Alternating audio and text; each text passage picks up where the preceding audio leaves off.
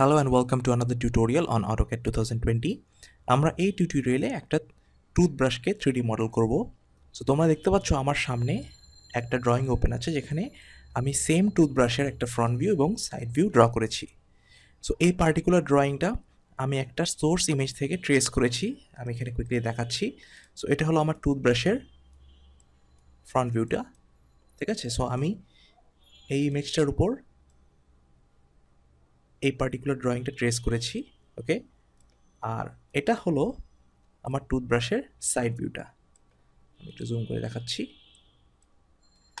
So এটাকে আমার source image হিসেবে রেখে আমি টুথব্রাশের সাইডটা ট্রেস করেছি ওকে সো এগুলো আমি সরিয়ে দিচ্ছি।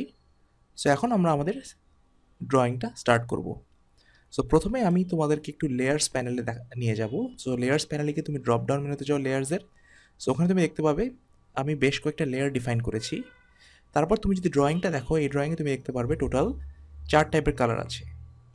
সো একটা হলো ব্ল্যাক ঠিক আছে? সো ব্ল্যাক কালার হলো তোমার মেইন লেয়ার সো বেসিক্যালি এই লেয়ারের কোনো কাজ নেই, তেমন একটা।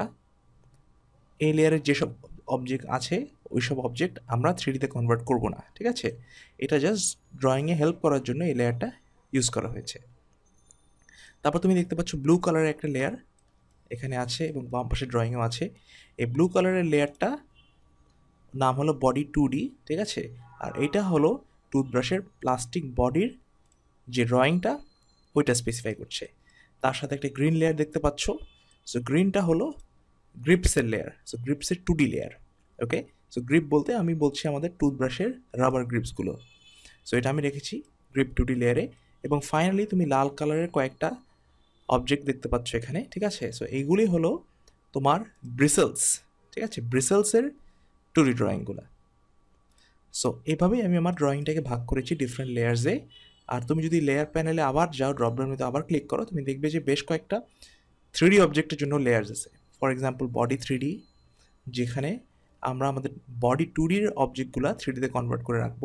সিমিলারলি ব্রিসেলস থ্রিডি হলো, যেখানে আমরা আমাদের ব্রিসেলস টু ডির অবজেক্টগুলো থ্রিডিতে কনভার্ট করার পর রাখব। অ্যান্ড ফাইনালি গ্রিপ থ্রিডি যেখানে আমরা গ্রিপ টু ডি লেয়ারে যেসব অবজেক্ট আছে ওগুলোকে থ্রিডিতে কনভার্ট করার পর রাখব।